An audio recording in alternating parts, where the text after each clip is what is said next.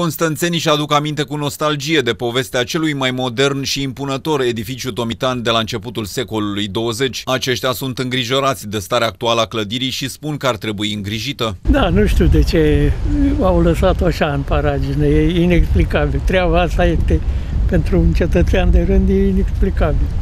Înainte era cu totul altfel, era mai îngri, era îngrijită.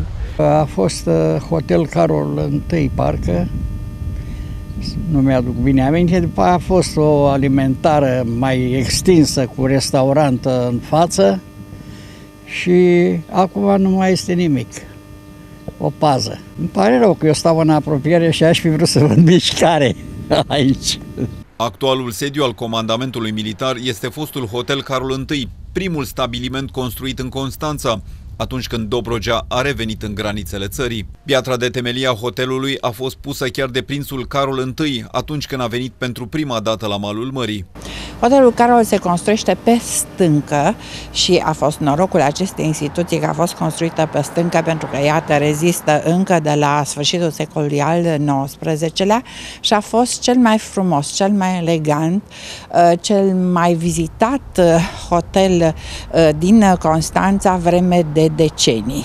Aici venea elita uh, țării în uh, vacanțele estivale, aici se dădeau marile banchete, aici uh, venea și regalitatea în momentul în care își făcea vizitele și invita autoritățile locale la banchete festive.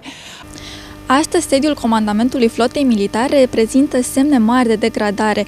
Unele dintre ferestre au geamurile sparte, iar tencuiala stă să cadă în orice moment. Reprezentanții instituției spun că de-a lungul timpului au fost desfășurate mai multe proiecte de reabilitare. Ultimul dintre acestea a avut loc în 2018, însă din cauza faptului că nu au fost respectate graficele de execuție de către constructor, lucrările au fost sistate.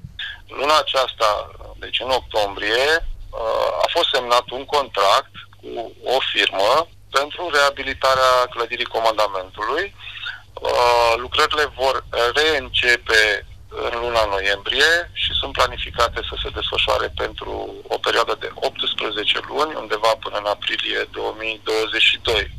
Lucrările ce urmează a fi derulate constau în consolidarea clădirii, refacerea fațadelor și a detaliilor de arhitectură, precum și înlocuirea acoperișului.